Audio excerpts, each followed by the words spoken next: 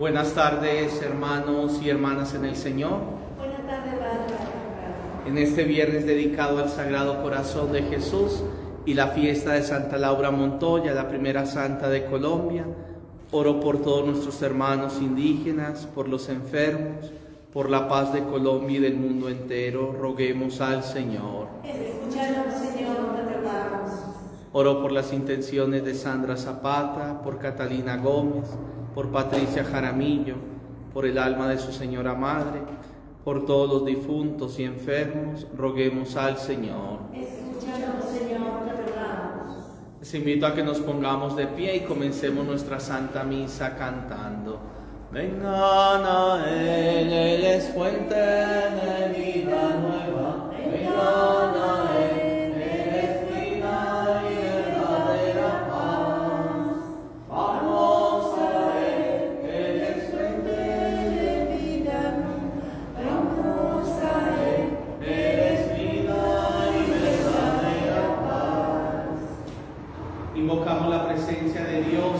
María Santísima diciendo juntos, en el nombre del Padre, del Hijo y del Espíritu Santo. Amén.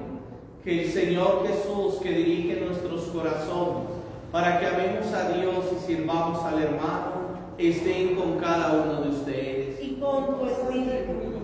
Al comenzar nuestra celebración eucarística, le pedimos perdón a Dios por cada uno de nuestros pecados, por nuestras faltas de amor y de caridad. En el silencio imploremos la misericordia de Dios.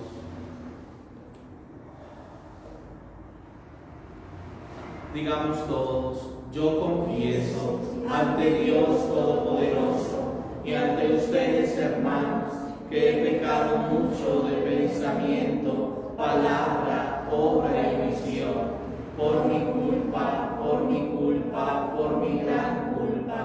Por eso ruego a Santa María, siempre Virgen, a los ángeles y a los santos, y a ustedes, hermanos, que intercedan por mí ante Dios nuestro Señor.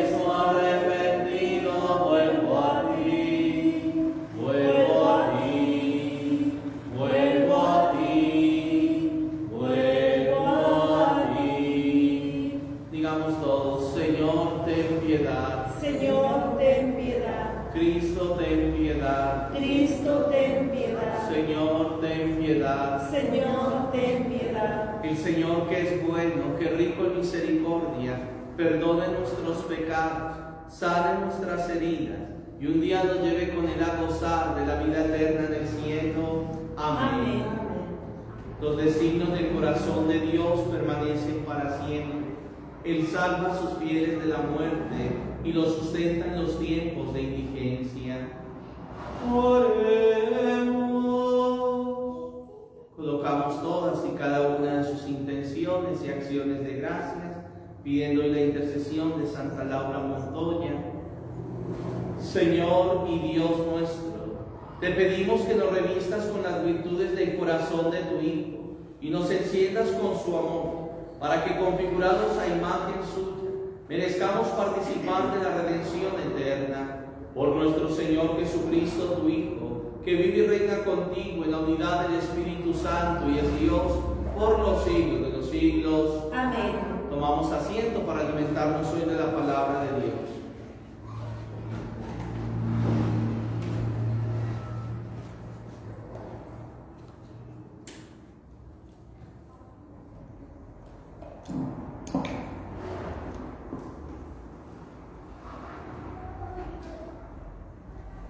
Lectura de la carta del apóstol San Pablo a los cristianos de Éfeso. Hermanos, Yo que estoy preso por el Señor, los exhorto a comportarse de una manera digna de la vocación que han recibido, con mucha humildad, mansedumbre y paciencia, soportense mutuamente por amor. Traten de conservar la unidad del Espíritu mediante el vínculo de la paz. Hay un, hay un solo cuerpo y un solo Espíritu, así como hay una misma esperanza a la que ustedes han sido llamados de acuerdo con la vocación recibida. Hay un solo Señor, una sola fe, un solo bautismo. Hay un solo Dios y Padre de todos, que está sobre todo, lo penetra todo y está en todos. Palabra de Dios. Te alabamos, Señor.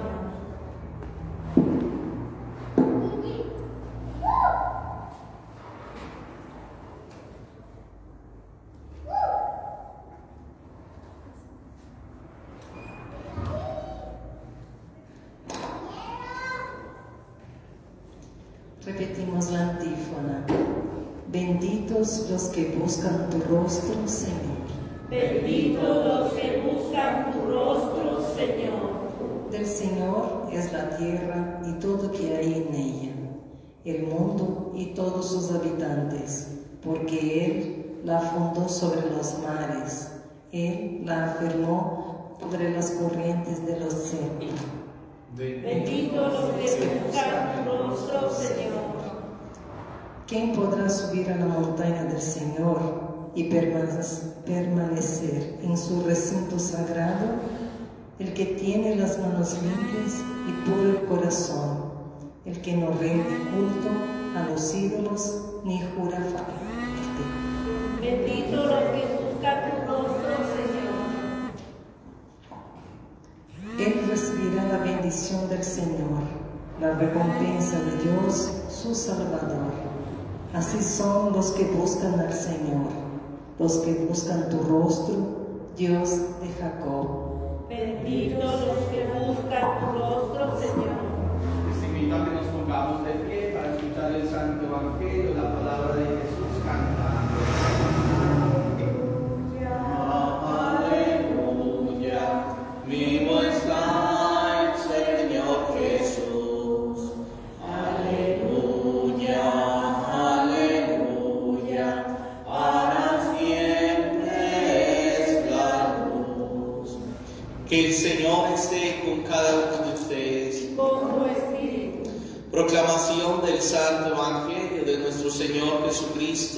Según San Mateo. Gloria a ti, Señor.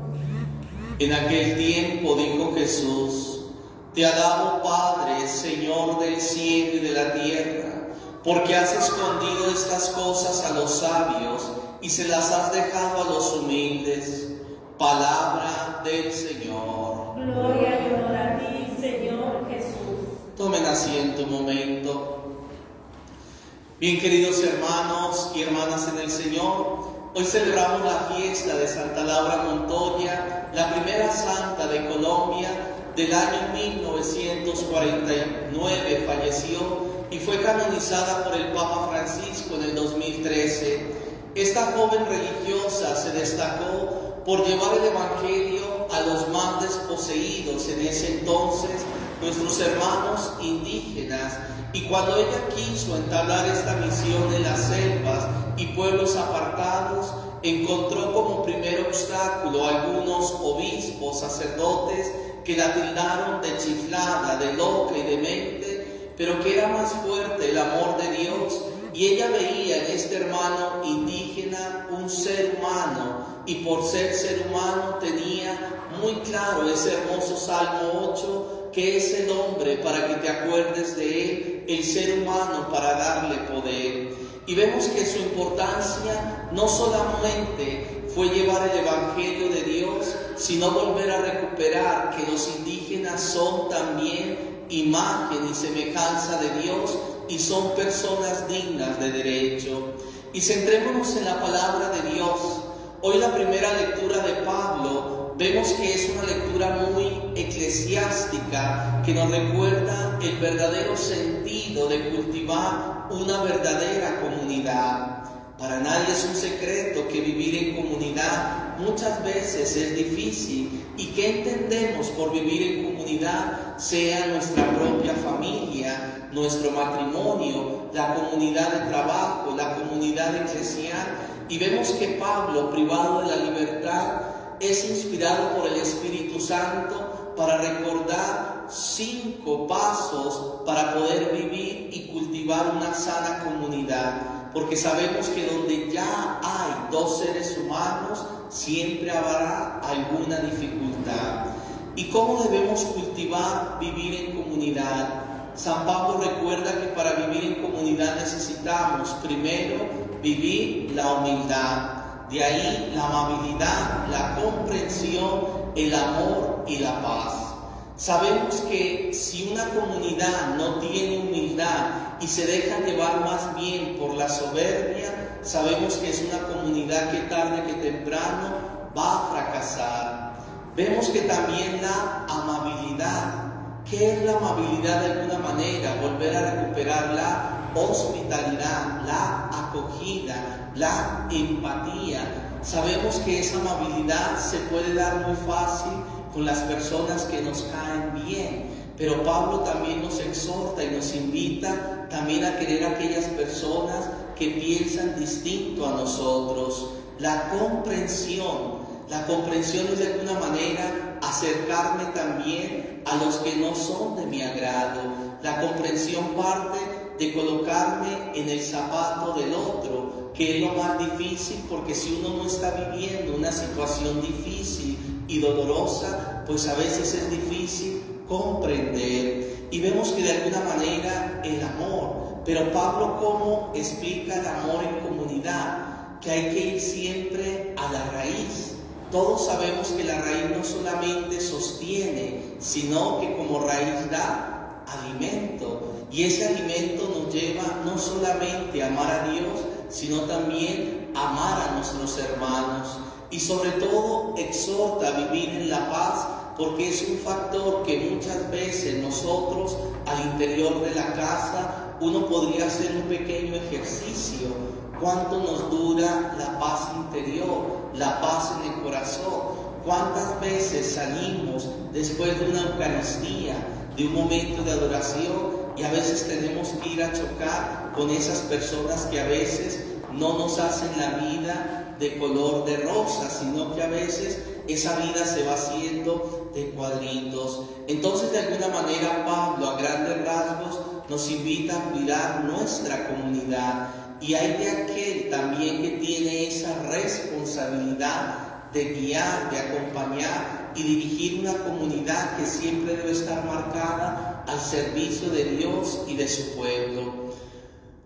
Hoy, especialmente ayer, Nuevamente una familia de Calama sufre la partida de una joven de 15 años que tomó la decisión de quitarse la vida.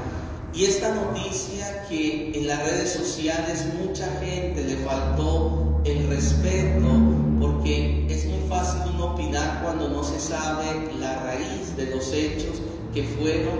Y vemos que eso nos tiene que llevar aprender nuestras alarmas como papás, como mamás, como docentes, en no quedarnos simplemente, aparentemente, que mi hijo, mi hija está aparentemente bien, porque está bien en la escuela, tiene esto, pero a veces hay dolores silenciosos que a veces de alguna manera la familia o aquellos que desean ser los amigos desconocen. Vemos que el tema del suicidio tiene mucha tela que cortar. Muchos optan esta decisión también ayudados por la cooperación del mal, la influencia del mal, porque no es normal que uno quiera autodestruirse, pero más que quitarse la vida es querer silenciar un dolor agudo que hay en el corazón. Algunos han tomado esa decisión en el tema del amor. A veces nos supera una separación, una traición, una infidelidad. A veces el ahogo y sofoco de las deudas que de alguna manera algunas personas de manera muy desordenada se fueron de alguna manera endeudando con préstamos, tarjetas, aquí, aquí, hasta que el sofoco del banco te lleva a tomar una decisión. También tantas situaciones difíciles, pero que de alguna manera nos debe llevar a estar muy atentos, porque esa realidad en cualquier momento también puede visitar nuestra propia familia.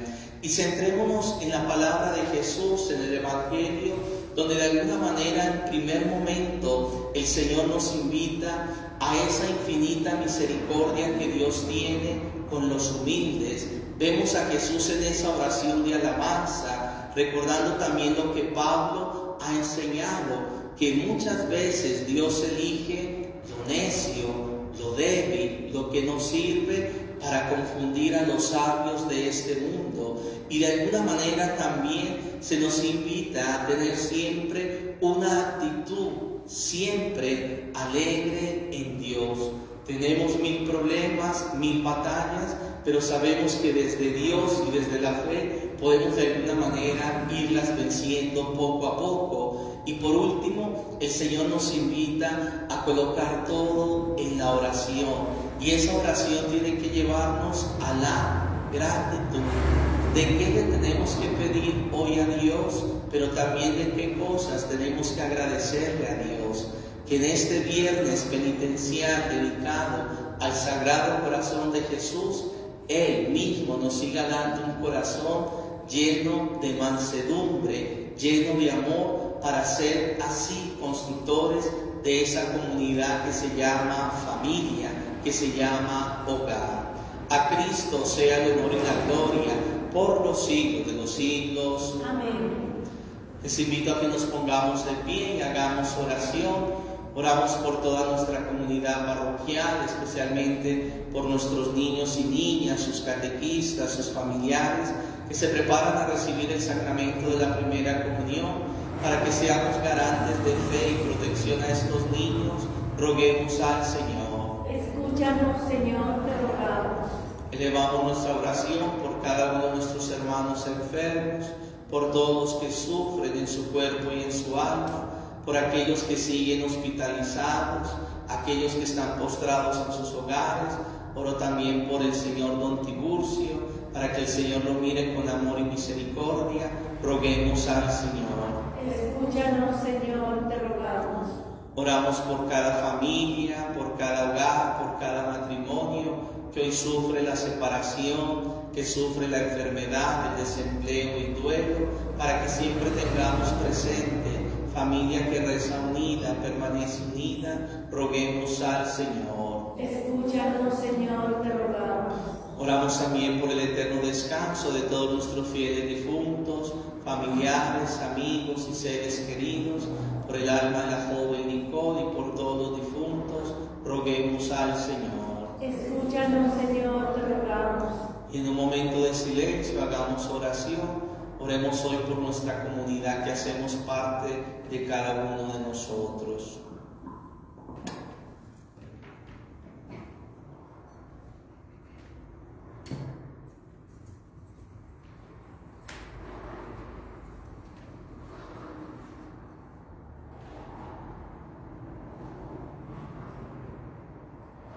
por todo lo que hay en sus vidas y por el aumento de las vocaciones a la vida sacerdotal, religiosa, matrimonial, al diaconado permanente, roguemos al Señor. Escúchanos, Señor, te rogamos. Junto al pan y al vino le presentamos al Señor nuestras vidas cantando. Gloria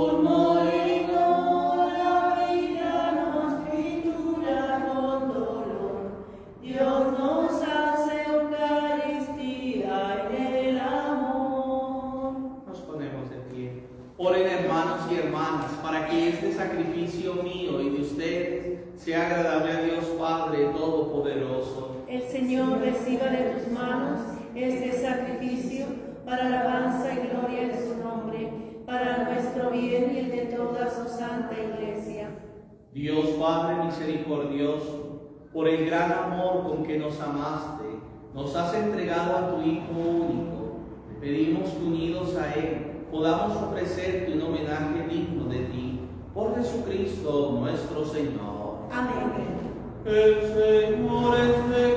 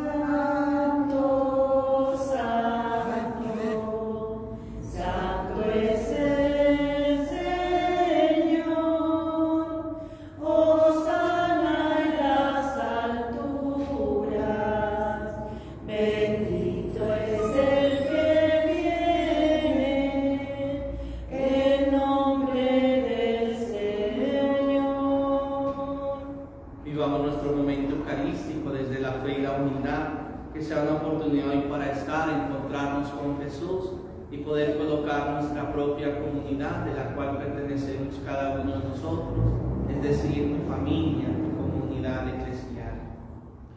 Padre misericordioso, te pedimos humildemente por Jesucristo, tu Hijo nuestro Señor, que aceptes y bendigas estos dones, este sacrificio santo y puro que te ofrecemos, ante todo por tu Iglesia santa y católica, para que le concedas la paz, la protejas, la congregues en la unidad y la gobiernes en el mundo entero, con tu servidor el Papa Francisco, con todos los obispos de Chile y del mundo, y todos los demás obispos que fieles a la verdad promueven la fe católica y apostólica. Acuérdate, Señor, de todos nuestros hermanos enfermos, por todos los que están atravesando momentos difíciles, por aquellos que han intentado quitarse la vida y por todos los aquí presentes cuya fe y entrega bien conoces, por ellos y todos los suyos, por el perdón de sus pecados y la salvación que esperan, te ofrecemos y ellos mismos te ofrecen este sacrificio de alabanza a ti, eterno Dios, vivo y verdadero. Reunidos en comunión con toda la iglesia, veneramos la memoria ante toda la gloriosa siempre Virgen María, Madre de Jesucristo, nuestro Dios y Señor, la de su esposo San José, la de los santos apóstoles y mártires, Pedro y Pablo, Andrés, y la de todos los santos, Santa Laura Montoya, el santo cura de Ávila, San Pío de Petrelcina, San Benito, Madre Teresa de Calcuta, por sus méritos y oraciones, concédenos en todo tu protección por Cristo nuestro Señor. Amén. Acepta, Señor, en tu bondad esta ofrenda de tus servidores y de toda tu familia santa. Ordena en tu paz nuestros días, líbranos de la condenación eterna y cuéntanos entre tus elegidos por Cristo, Señor nuestro. Bendice y santifica esta ofrenda, Padre, haciéndola perfecta, espiritual y digna de ti, de manera que se convierta para nosotros en el cuerpo y la sangre de tu Hijo amado, Jesucristo nuestro Señor. Él mismo, la víspera de su pasión, tomó pan en sus santas y venerables manos, y elevando los ojos al cielo, a ti suyo Padre Todopoderoso, dando gracias te bendijo, lo partió y lo dio a sus discípulos diciendo, Coma y comed todos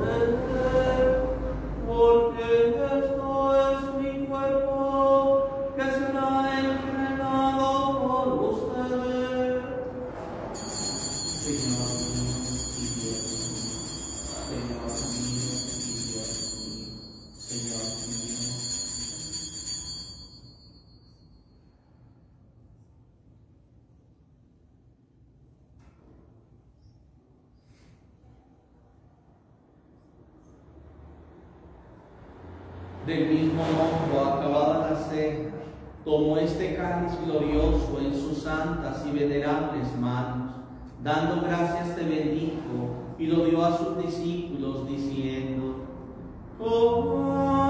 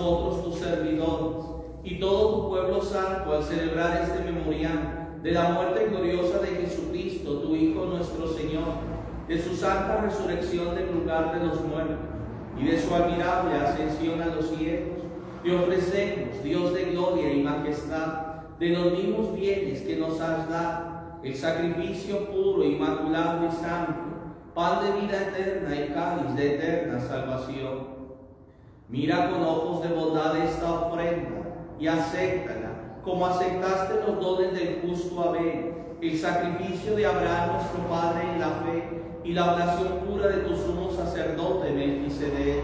Te pedimos humildemente, Dios Todopoderoso, que esta ofrenda sea llevada a tu presencia hasta el altar del cielo, por manos de tu ángel, para que cuando recibimos el cuerpo y la sangre de tu Hijo, al participar aquí de este altar, seamos colmados de gracia y bendición por Cristo, Señor nuestro. Amén.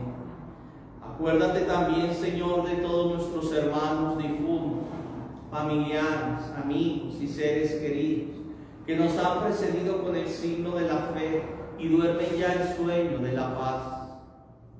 Por todos sus difuntos hagamos oración por el alma de Darío Gómez, la joven Nicole. A ellos, Señor, y a cuantos descansan en Cristo, concédeles el lugar del consuelo, de la luz y de la paz, por Cristo, Señor nuestro. Y a nosotros, pecadores, servidores tuyos, que confiamos en tu infinita misericordia, admítenos en la asamblea de los santos apóstoles y mártires, Juan el Bautista, Esteban, Matías y Bernabé, y de todos los santos, San Alberto Hurtado, Santa Teresa de los Santos, la Beata Laura Vicuña, y acéptanos en su compañía no por nuestros medios, sino conforme a tu bondad, por Cristo Señor nuestro, porque sigues creando todos los bienes, los santificas, los llenas de vida, los bendices y los repartes entre nosotros.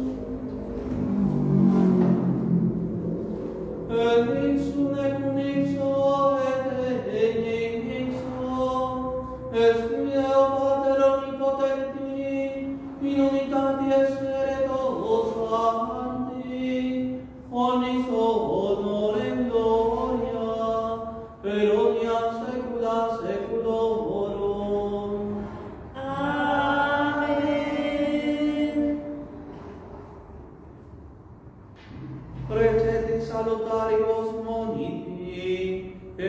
Ave, Ave, Ave, Ave,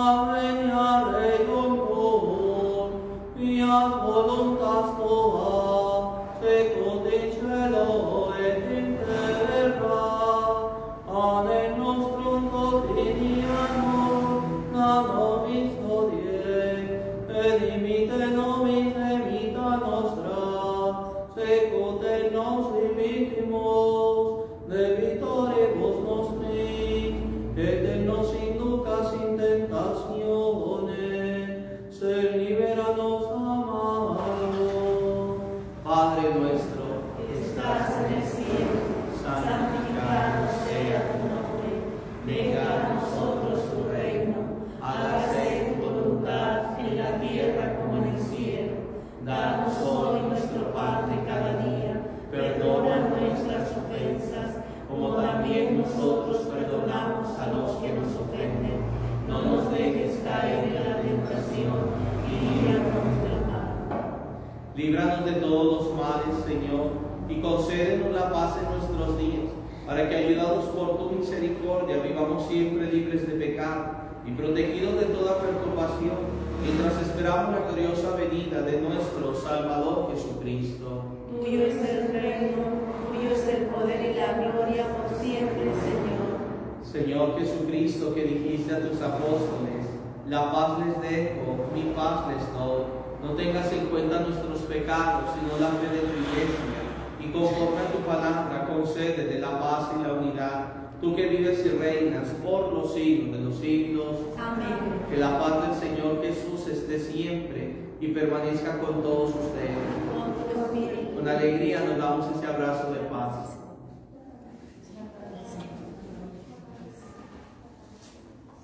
Cordero de Dios que quitas el pecado del mundo, ten piedad de nosotros. Cordero de Dios que quitas el pecado del mundo, ten piedad de nosotros. Cordero de Dios que quitas el pecado del mundo, danos la paz. Este es el Cordero de Dios que quita el pecado del mundo. Dichosos los invitados a esta cena. Señor, soy digna de que entres en mi casa, pero una palabra para usted para sanar. Ofrecemos nuestra comunión espiritual por todos nuestros hermanos enfermos. Yo quisiera, Señor, recibirte Yo quisiera, Señor, recibirte con aquella pureza y humildad con aquella pureza y humildad con que te recibió nuestra Santísima Madre, con que te recibió nuestra Santísima Madre, con el espíritu y fervor de los santos. con el espíritu y fervor de los santos. Y ahora que no puedo hacerlo, Y ahora que no puedo hacerlo, ven a mi alma ven a mi alma jamás permita y jamás permita que me separe de que ti. me separe de ti. Amén. Amén. Que el cuerpo y la sangre de Cristo nos guarden para la vida eterna. Amén. Quienes van a recibir a Jesús Eucaristía, hacemos una filita en medio, los demás tomamos asiento y hacemos oración personal.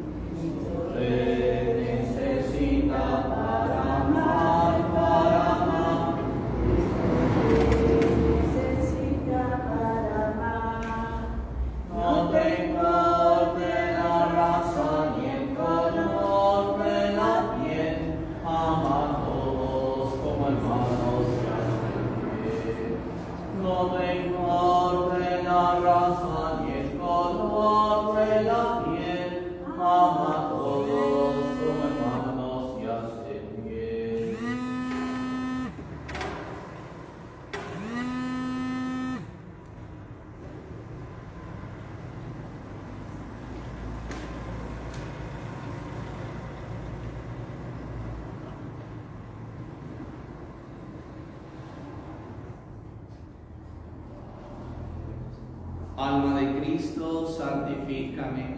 Cuerpo de Cristo, sálvame. Agua del costado de Cristo, lávame. Pasión de Cristo, confórtame. Oh mi buen Jesús, óyeme.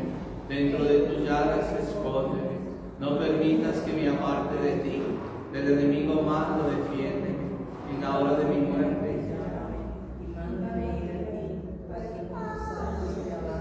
por los siglos de los siglos. Amén. Le damos gracias a Dios por esta santa misa.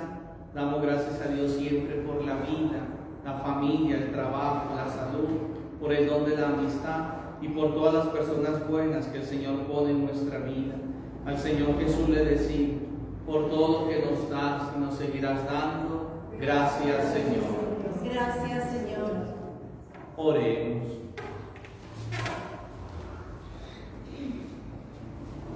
Después de celebrar el sacramento de tu amor, te suplicamos humildemente, Señor, que configurados con Cristo en la tierra, merezcamos participar de su gloria en el cielo. Por Jesucristo nuestro Señor. Amén. Nos consagramos a nuestra Madre Santísima diciéndole, Bendita sea tu pureza y eternamente lo sea, pues todo Dios se recrea en tan graciosa belleza. A ti, celestial princesa, oh Virgen Sagrada María, yo te ofrezco en este día alma, vida y corazón. Mírame con compasión, me Madre mía, morir sin tu santa bendición. Amén.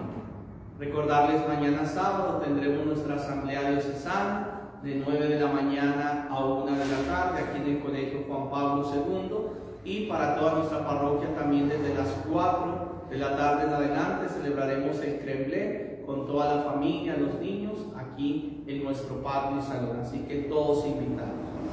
Que el Señor esté con todos ustedes.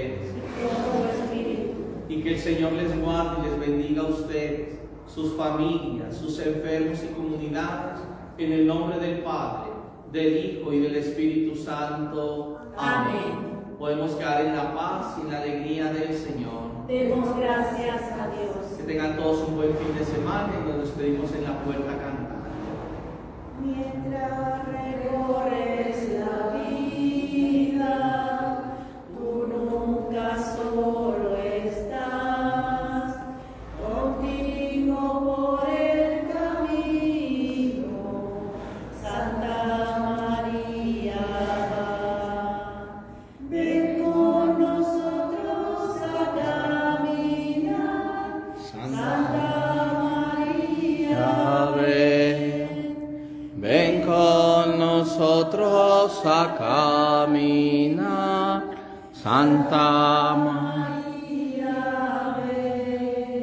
María Purísima.